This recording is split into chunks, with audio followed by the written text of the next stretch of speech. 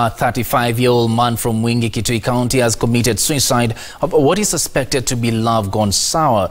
Now, the water vendor at Mwingi town was found hanging from the roof of his store, and it is claimed that he had a fight with his lover just moments before he took his life. Now, according to a police statement recorded by his lover identified as Munani Mwengi, the deceased had threatened to commit suicide during the argument. Mwingi Sub-County Police Commander Nicholas Mutua confirmed the incident and said investigations to ascertain the motive were ongoing. The deceased body was taken to Mwingi Level 5 Hospital mortuary.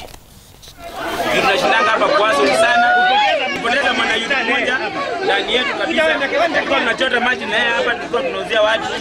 Sasa na pia alikuwa na bibi yake hapa, kuchota.